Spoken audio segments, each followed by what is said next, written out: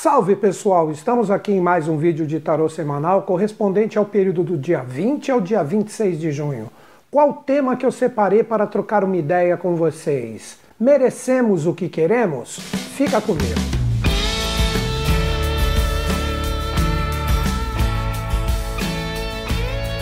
Estamos aqui em mais um vídeo onde nós vamos pegar os arcanos do tarô em correspondência com os movimentos astrológicos dos planetas, para que nós possamos refletir com algumas mudanças que nós temos nesta semana. Nós temos o Sol, dia 21, ingressando na energia de Câncer, que faz analogia direta do arcano 21, o mundo com o Sol, e por fim o arcano 8, a justiça com Câncer. E depois nós vamos falar da energia do arcano 022, o louco, que se associa diretamente a Netuno, que entra em sua retrogradação no dia 22. Lembrando sempre todos que estão aqui que essas correlações quem fez não fui eu, foram ocultistas de grande valor, como por exemplo o próprio autor do tarô que eu utilizo aqui, que é Oswald Wirth que teve o aval de grandes outros seres para criar esse tarô cheio de simbolismos e arquétipos fantásticos. Então é isso, gente. Vamos a este primeiro momento onde nós temos a energia do arcano 21, o mundo, que corresponde à energia do Sol que troca o seu posicionamento agora, ingressando sobre os auspícios da energia do arcano 8, a justiça. Daí nós já podemos refletir de uma forma direta com o tema que eu lancei para vocês: a ética do arcano 8, se nós realmente merecemos o que nós queremos. Nós, seres humanos, sempre estamos ansiando alguma coisa, nós temos desejos, nós temos objetivos, metas, nós queremos conquistar algo. Aí que nós entramos na modulação do arcano 21, que sempre traz para nós a vitória, mas para aqueles que não conseguem conectar ou harmonizar os quatro animais da esfinge, que representam os nossos quatro estados de consciência, vem a polaridade do arcano, que representa o fracasso ou a derrota, ou mesmo a falta de posicionamento real e consciente da experiência que está passando. E a energia desse arcano agora está totalmente modulada pelo arcano 8, a justiça, que corresponde à energia de câncer. Daí que nós precisamos meditar num valor muito interessante. Querer realmente é poder. Mas para poder, nós temos que merecer. Aí que nós começamos a entender a verdadeira ética que eu estou falando. Muitas vezes nós não compreendemos essas regras do universo, que nós não sabemos vibrar, não sabemos sintonizar, não temos o poder de conquista daquilo que nós realmente ansiamos e queremos. O arcano 8, ele vem nos trazer agora neste mês, porque este é o ingresso da energia do Sol em um signo astrológico, então isto vai modular a nossa energia, a nossa força aproximadamente até o dia 20 de julho. Todos nós estaremos em sintonia com essa justiça, pois existe uma justiça que não é a humana, a justiça que corresponde aos valores universais, que se nós não merecemos determinada energia para experienciar e aprender, isto não chegará a nós. É aí que a justiça, com o seu senso de ética verdadeiro, a ética universal nunca vai ofertar para você o que você não está preparado para receber. Nós podemos entrar agora no Arcano 21 Mundo e compreender essa mensagem modulada com o Arcano 8 a Justiça. Os quatro animais da Esfinge que faz o vencedor, aquele que merece, que está no centro, com a coroa de louros totalmente ao seu redor, representa que esta vitória só surgirá quando nós aprendermos a observar a energia, a modulação desses quatro animais da Esfinge para que a justiça que é perfeita, ela observe que você merece o que você está ansiando e com isso o que você tem como objetivo e meta chega a você. Mas será que nós somos vencedores desses quatro animais, dessas quatro forças, na verdade, que estão projetadas no arcano? Aí que vem a própria força de reconhecer quem nós somos. A águia representa a nossa mente. Será que você tem o conteúdo mental, o raciocínio, o discernimento daquilo que você está buscando e almejando? Se falta esse conteúdo, você não voará como a águia soberana que tem um olho perfeito que sabe observar exatamente o seu objetivo com tremenda clareza e precisão. Será que isso está bem resolvido em ti? Então é bom você questionar esse valor da águia se caso você não esteja conseguindo atingir a meta ou o objetivo que está dentro de ti. Observe se falta conteúdo, se você precisa estudar, se você precisa refletir mais. Utilize a sua mente, utilize o seu raciocínio. Depois, essa energia se encaminha para a força do leão, onde nós temos a energia astral, a motivação verdadeira, o desejo, o fogo verdadeiro deste animal, deste totem simbólico fantástico que faz a gente ter a verdadeira coragem, a predestinação, a força a motivação astral de correr atrás do que nós precisamos. Nada cai do céu. O leão representa a conquista do que você almeja através de uma motivação verdadeira que você não esmorece quando surgem os desafios. O leão fraco é aquele que sempre quando surge um pequeno desafio naquilo que é importante para ti, você esmorece, você desmotiva, você baixa o seu astral. Depois essa energia se encaminha para o touro, que demonstra claramente se você tem força, se você tem vitalidade, se você é estável, se você é firme em relação ao seu propósito, ou se toda vez que você vai rumo aos seus objetivos e metas, você vai de uma forma fraca, desvitalizada, você vai de uma forma que não corresponde realmente a toda a energia que deveria ser empregada de uma forma extremamente firme e constante naquilo que você definiu que é importante. Isso em exemplos práticos, de repente, toda vez que você fala que vai fazer alguma coisa para chegar no seu objetivo, a sua atitude é fraca, surgem outros assuntos que tiram totalmente a estabilidade do touro. E por fim, o anjo, além da inspiração celeste, ele representa a força de realização.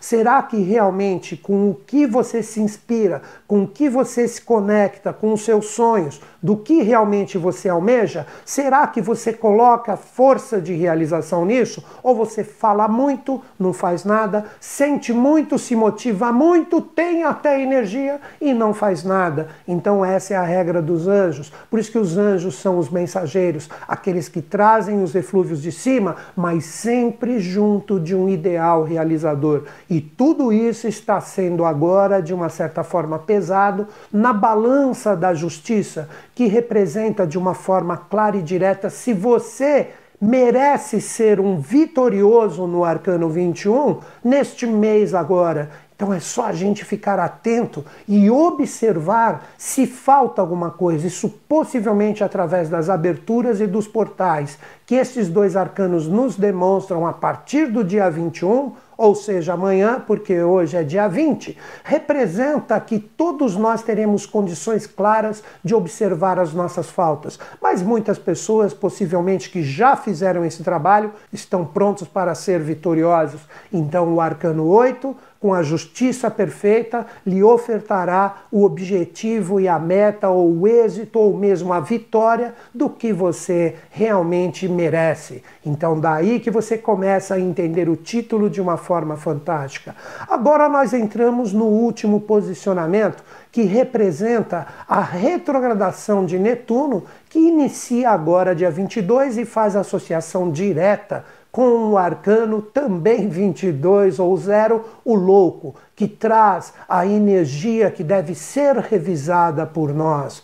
Pessoal, antes de eu falar desta energia fantástica, eu peço para vocês curtirem o vídeo se você entrou em sintonia com a minha conversa, se inscreva no canal se você ainda não é inscrito, ative as notificações no sininho, que sempre que a gente postar, toda semana estamos aqui de uma forma fiel, trazendo esses vídeos para você. Você receberá uma notificação com o e-mail que você se inscreveu e por fim, acesse o meu site que ali tem todo o meu trabalho para você conhecer e tem muita coisa gratuita. Se você entrar na parte onde está escrito blog, você verá que Todos os vídeos de tarô, assim como de astrologia semanal, estão transcritos ali para você poder revisar alguns dados. E se você quiser entrar em sintonia de uma forma mais profunda comigo, se inscreva na lista VIP, VIP na verdade, está escrito lista VIP. Coloca o seu e-mail no boxezinho. Sempre que a gente enviar o nosso e-mail falando que novos vídeos estão presentes, as minhas atividades presenciais, assim como também as transcrições e os vídeos, você vai receber o e-mail notificando semanalmente tudo que a gente está realizando, assim como também os cursos online. Tá certo, gente? Isto é necessário fazer essa divulgação para que o trabalho aqui, que eu sempre trago com todo o meu coração e mente para vocês, continue cada vez mais forte, tá certo? Vamos agora então no arcano 22 ou zero louco com essa vibração. Então você entendeu no primeiro momento que você deve merecer a energia para que ela chegue a você no sentido real do que você considera o êxito dos seus objetivos e metas e analisar todos os quatro estados de consciência que estão expressos no arcano 21, o mundo. Agora o arcano louco, ele entra em revisão a partir do dia 22. O que representa essa energia? Será que você consegue observar através do seu caminho, através da sua jornada, que representa tudo o que você faz diariamente, semanalmente, mensalmente, ou seja, a sua vida, será que você consegue enxergar as energias que realmente já encerraram em relação às suas experiências e também as energias que devem ser reiniciadas, porque tudo na nossa vida é uma constante evolução no sentido que nada se perde. Daí que você observa na energia do louco a trouxa no seu ombro que representa a força positiva dos seus êxitos e acertos e o animal na parte de baixo mordendo a sua perna esquerda dos erros. Então tudo isto deve ser revisado junto com a energia anterior que eu falei para vocês, da força do arcano 8 junto com o arcano 21, você tem agora o louco pedindo para que você revise todos os pontos, principalmente das experiências passadas que você teve, onde você falhou, onde você acertou e transforme isso no caminho do meio. Este é o grande segredo. Muitas pessoas ficam só apegadas nos erros e não conseguem enxergar a possibilidade dos acertos, então fica só com o animal do arcano 22 mordendo a perna e não consegue enxergar que existem potencialidades na trouxa e por fim também tem pessoas que se otimizam de uma forma cega, erram o caminho, fica andando em círculo, não consegue o êxito e continua acreditando que agindo da mesma forma terá resultados diferentes. São pessoas que não enxergam que são necessários os aprendizados do animal que morde a perna. Então, tudo isto também entrará numa grande revisão essa semana.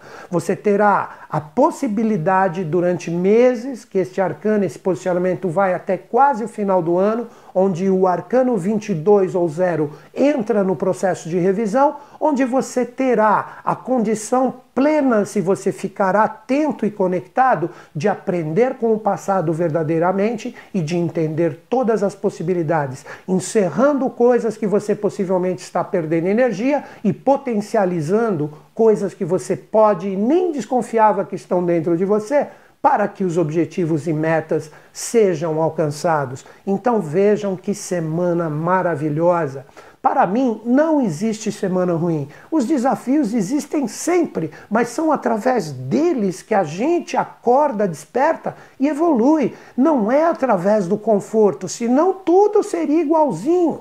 E se sua vida está assim, sempre tudo igualzinho, isso é um problema muito grande. Tem que dar uma agitada nisso e as suas vibrações serão diferentes para que você consiga um êxito fantástico de novos resultados. Porque se já estivesse presente, você não estaria querendo ou ansiando isso como objetivo e meta. Então, na verdade, é uma realidade nova, ou ao menos uma realidade que já existiu que hoje não existe mais. Daí que fica o tema: merecemos o que queremos? Merecemos, mas para isso é necessário trabalho, superação, esforço e principalmente consciência. Que é isso que eu desejo para todos nós que estamos neste jogo maravilhoso chamado vida. Grande beijo na sua mente e no seu coração. Até o próximo vídeo.